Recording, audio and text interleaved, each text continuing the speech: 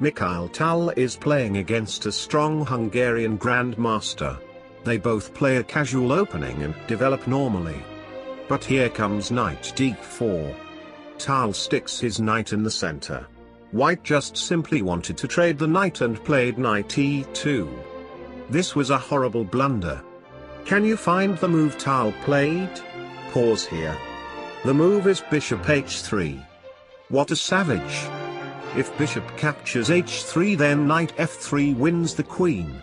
If white castles then knight takes f3. And black is up the exchange. In this game, white played knight captures on d4 and after the positions settled. Tal is up a piece.